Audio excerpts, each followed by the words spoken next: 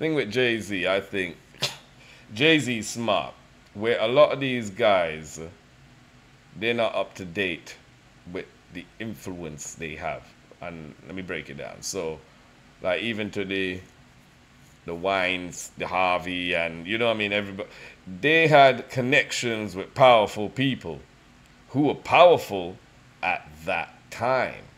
As time goes by, people pass, power changes hands. Yes, they may have connects, but they weren't as powerful as they were five years ago, 10 years ago, 20 years ago. So you see, people like Diddy, they have a lot of connects with people who used to be. So maybe some now, you know. Jay Z, every year, man, Jay Z ch- shaking new hands. Jay Z changing his circle. He got new friends. Jay Z kind, I don't want to say he's smart, but he keeps up to trend with who's powerful and who can, you know, do what they need to do. So trust me, every year Jay Z is while everybody sticks in the past, Jay Z's like, nah, nah, nah, nah, nah. So it makes me know as well, too, bro, you must have a few skeletons in the closet. You know, it is what it is. But hey, I'm not to be. Let me see what uh, my boy Xevi here said. They say to become a billionaire, you gotta screw over a lot of people. Kind of like how Marcus stole Facebook, how William Gates, a sociopath, stole a bunch of Apple's ideas. Y'all all know Elon be wildin'. And none other than the Jigga Man, who today we're gonna use as an example. Now, this is no shade to Jay Z, he's just a perfect example because when he was coming up, he said he was a hustler. To be a billionaire, you gotta hustle, scam, bamboozle, and a lot of street hustling kind of connects to business. Now, Jay-Z had a problem, because remember, I just said to be a billionaire, you gotta screw over a lot of people. Some can see that as, ah, this guy's a jerk. But Jay-Z is the face of his business. Like he says, I'm a business, comma, man. If you don't know how your commas work, he's basically saying he's a business. Now, if you are the business, your stocks can go up and down depending on you. Let me put it to you mm-hmm. this way. If Elon Musk was this super nice guy who gave to charity all the time and he bought Twitter and it was failing, people would be like, man, that's tough for Elon. And a lot of people will probably help him out. Now we all know that's not Elon Musk, so people just laugh at him as Twitter crashes and burns and prays for his mm. downfall. Now let's mm. see how Jay-Z toes this balance perfectly with Tidal. Now, if you don't know, Tidal was this oh, music service that Jay Z bought a while ago. He said, yo, this is gonna be the biggest thing in streaming. Spoiler alert, it wasn't. Now, why Jay Z started right. Tidal was actually a pretty good reason. Streaming platforms are not paying artists. So if he makes Tidal and he promotes Tidal, pays artists a whole bunch of money, people will love Tidal. And he actually did this by giving the most amount of revenue to artists. And he also made this whole grand production where a bunch of famous musicians came on stage signing We Own part of Tidal. Jay Z gave it to us. Everyone's like, woo! Jay Z like, so y'all finna sign up for Tidal? Everyone's like, no. No. Jay Z said, but why? they said, because I have Spotify already. But Jay Z, you a good dude. He underestimated the fact that people were like, yo, Beyonce would be all right if I just go on Spotify. She's a millionaire. Ain't that right, yeah. Jay Z? Jay Z said, well, now you can only get her album on Tidal. Now what? People were like, mm, I don't really like that. And people just listened to another artist. It wasn't that deep. But at this point, people did not like Jay Z. He had so much stock with the people that people were just giving him the benefit of the doubt. They're like, oh, he's a businessman. He's just trying to make a business move. It's business annoying, but sure. Now, there was yeah. a few more album exclusives. I, I didn't want to say that's business. Let me pause there, yeah. But he's a businessman, but he's a businessman who only interest is in himself, his brand, his wife, which is fair. As a family man, you need to be only worried about yourself and your kids. You know what I'm saying? That's true. But in hip hop, I don't want to hear that BS. That's a bunch of crap. Yeah. Jay Z has ended so many careers just so that he could be number one, be crowned the king of New York. Man went to Def Jam and literally shelved everybody, got rid of everybody, and we had no more hip hop coming out in New York. I'll never forget that when he took over Def Jam. I was like, bruv, Russell Simmons, I know you're going through your shit, but you went and sold Def Jam to him? Like, and I know Dame Dash and him and the whole story, like, I understand, you know, I understand that. He needs to do better with himself. But he was a very selfish, greedy guy where DMX, Meth, anybody who kind of showed any kind of competition to him, he made sure to get you out of there. And I was just, as a hip hop fan, I was just like, yo, fam, nah, bro. No.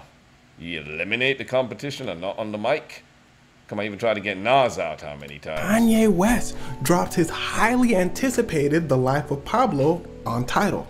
Exclusively. Now, people weren't tripping that Kanye's album was exclusively on Tidal. I think like 300 million people paid the subscription fee to listen to the album. Then a week later, Kanye drops the album on Apple Music. Everyone who paid the Tidal subscription felt scammed because the album was exclusively supposed to be released on Tidal. In fact, Tidal gets sued and it's starting to look really bad because at this point, people are only buying into this because Jay-Z is the savvy businessman. Eh, it's okay. But now it just seems Jay-Z, remember, he's the face of the business, is forcing people to pay to listen to their favorite artist and his business is failing. Maybe he's not that business savvy. So his reputation is taking a slight dip. So Jay-Z goes, oh snap, it's time to jump ship. Mm-hmm. So he hits up his friend Jack Dorsey. Jack Dorsey founded Twitter. He's like, yo, Jack, you wanna come on my yacht? Jack goes, me? Of course. Rich people still think famous people are famous. So Jack goes on vacation with Jay-Z. Jack sees Beyonce. He goes, that Beyonce? Jay-Z goes, yup. Hey, you wanna buy Tidal? Jack goes, You're failing music service? Jay Z said, Now who said it's failing? Jack said, Everybody online. Jay Z goes, Well, you can't believe everything you read. So Jack goes over to his shareholders and tells them, Yo, we're buying Tidal. They go, Jay Z's failing music service? Jack said, Now who said it's failing? They said these legal documents that Tidal is obligated to show us, showing that they're failing. Jack said, Well, you can't believe everything you read. We buying it for 300 million. They go, What the they buy it. Jack's the boss. Now, Tidal of course fails, but it had mm. people questioning why did Jack do this? Because even though Jay-Z is Jay-Z, this is ridiculous. The shareholders thought the same thing, so they sue Jack. And here's where it starts to get wicked. There's something I forgot to tell you. A part of the deal where Jack and his company paid 300 million for Tidal was Jay-Z, listen closely, gets on the board of directors for Jack's company. The board and the shareholders were like, what, what, Jay-Z said, what, what, what, Jigga, I'm here now. So people were suspicious, including the judge. Judge was like, yo, so is he just like your friend and you just helped him out? Jack goes, mm. no, I just thought it was a pretty good idea. The judge goes, well, you got the bag and fumbled it. Jack goes, I'm sorry? The judge goes, you got the bag and fumbled it. Jack goes, okay, I won't fumble the bag next time. My fault, judge. Judge goes, great, you're free to go. The shareholders were like, hey, yo. But in the judge's words, it's not criminal to make a bad business decision. In fact, I think the judge said a terrible business decision. The judge was like, this transaction was done in bad faith, but it didn't break the law. And now it's time for our mm. story break with today's sponsor, Aura. Aura is able hey. to monitor your data across billions of data points to alert you if you're at risk of identity theft. This year's seen an especially high number of data breaches. From huge companies you might know like Dell, who's numbers and most importantly social security. So if you want to keep your personal data safe, you can go to aura.com billion. Yeah. The shareholders screwed because they lost a bunch of money. But Jack is here. First things first, Jay Z made it out, got $300 million, and I believe this was what pushed him to a billion. The shareholders okay. screwed because they oh. lost a oh. bunch of money. But Jack is. Is that where he got the money that pushed him up, bro? You see what I'm saying? This guy is so snaky and sly, bro. Yeah. Everything is about you can't hate a guy for making everything about making himself better, but at, at whose cost? At what cost? You know?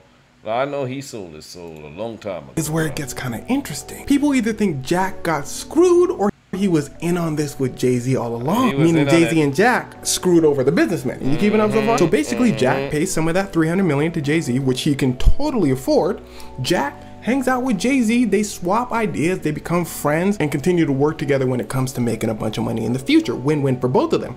Shareholders get none of this with Jay Z, and they just lose money. An NYU yeah. business professor called this an expensive tab to hang out with Jay Z. Now, how does this make Jay Z the hustler? Well, he basically sold himself instead of Tidal. When he knew the business was failing, he just went into the old hustler's playbook just pretend it's not failing and then sell it to a sucker. At first, he tried to sell it by pretending the number of subscribers were bigger than they were. They did actual projections on his numbers and they're like, bro, you're like 10 times below what you said you're doing. Jay-Z's like, let me see those numbers again. Oh, companies were like, oh no. Jay Z was like, but I'm Jay Z though. Again, in comes Jack Dorsey. Jay Z either hustles Jack or Jay and Jack hustle the shareholders. Anyway, Jay Z is actually not a stranger to these business tactics, pretending a product is good when it's eh. He's done this with his alcohol company, his other alcohol company, his clothing brand, pretty much a lot of things he has his hand in business for. Now, this isn't a bad thing. In fact, it's basically what a majority of commercials are. It's why companies hire celebrities to like use their stuff. Except Jay Z is both the company and the celebrity. Now, let's take things a step further further and talk about how Jay Z first came into the rap game. He actually used this exact same strategy to become famous. Pretending something's amazing, it's actually worth nothing, mm. but getting big companies to buy into it. And okay. that something was his record label, Roc-A-Fella Record. Now, I made this part of the video another day and I'm too lazy to film it over, so here you go. Now, Jay Z's no stranger to this oh, business yeah, strategy. In fact, he I'm gonna go look at this on my own time. I want to see what he says about this because he's covering in some issue. But he's always been like this though. Use, abuse, sell, move on. He don't care who he stamps on. But you know that's. I don't want to point a finger at him directly because you know you are a product of what they make. Like he, this was done to him in the beginning. You know, it's being done to everyone, you know. So people come in and don't try to break the cycle. They just continue it. Oh, I had it done to me for like 15 years. I'm bringing in my artists. I might as well make sure that I put them in a 360 deal and get all the money as well, too, because they took all of mine. It's, it's, yeah, man. He did this when he first started coming up as a rapper. As Jay Z says, he's a hustler from the streets. When he learned that you can hustle legally, he said, "Oh snap!" So he went to record labels and said, "Yo, I'm about to be the biggest thing. Here's my." They said, "Who are you?" He said, "Like I was saying, I'm Jay Z. I'm about to be." They said. "You can go." Jay Z said, Y'all didn't even listen to my album yet. And the funny thing is, Jay Z had a legendary album on his hands, but nobody was trying to hear it. They said, mm. We good, Jazzy. He said, First of all, my name is Jay Z. Second of all, y'all gonna see. So Jay Z had a problem. Nobody was trying to sign him. So Jay Z does what he knows best hustles. He gets his two friends, Dame Dash and Biggs Burke, and they create their own independent record label called Roc-A-Fella Records they didn't have no money really. At least not enough to go on crazy tours or have like a whole album release, mm. but they did have some cash from selling so what did they do? They spend it on clothes, Dame jewelry, Dash. cars, all that. Now from the outside looking in, it Dame looks financially Dash. irresponsible. But they did this for a reason. Remember the strategy make the business look good and people buy into it. Well, the business in this case is the record label they started. They was mm. walking in the clubs, spending money, all that. People was like, who them? Somebody would slide in, and be like, that's Jay Z and them from Roc-A-Fella Records. They'd be like, who are you? Don't worry about that. Jay Z, y'all ain't heard of Jay Z? Yeah. Like, nah, should I have? Dude would slide out and be like, y'all missing out. They paid the DJ to call their name. That's Jay Z and them from Roc-A-Fella Records. And they were looking like a big deal. And plus, remember, the album and the music was really good. In reality, they're selling the music out the trunk of their car. So the music starts getting out there. Record labels are like, yo, who is this Jay-Z from Roc-A-Fella Records? Jay-Z. Jay-Z like, huh? They said, um, you want to sign to our record label? Jay-Z be like, no, I'm already signed to Roc-A-Fella Records. Record mm-hmm. labels are like, well, we usually give artists 5% of their own music. What if we give you 10? Record labels are a scam too. One of the legal mm-hmm. scams. Jay-Z said 50-50. Record labels said 50 what? Jay-Z would be like, okay, fine. They'd be like, wait, wait, wait, wait. Universal eventually signs with a 50-50 deal with mm. Roc-A-Fella Records, which was insane at the time, especially because he only did this by pretending he was bigger than he was. Now, a lot of times in scams, people will pretend they're bigger than they are, and the other party will get nothing. Like what Jay Z did in the whole Tidal thing. Why when people talking about numbers don't lie. When it comes to Jay Z, what numbers? What numbers are we talking about? What numbers? I'm not. I'm not trying to take away from his contribution to hip hop. Jay Z, man, Jay Z, Jay Z's like Jay Z is serious. You know what I'm saying? Like Jay Z should be on Mount Rushmore.